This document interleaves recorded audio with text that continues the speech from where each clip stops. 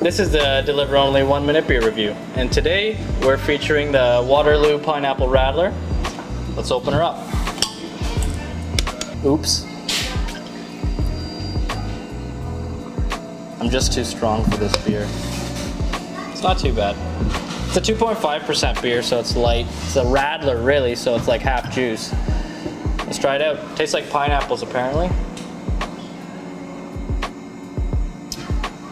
I've had uh, I've had uh, sweet radlers before, and radlers that are artificially flavored. And this one, it actually tastes like pineapple juice, to be honest with you. My pick, but it's a little sweet. So if you have a sweet tooth, this is the one for you. If you don't have a sweet tooth, um, then stick to something a bit more acidic.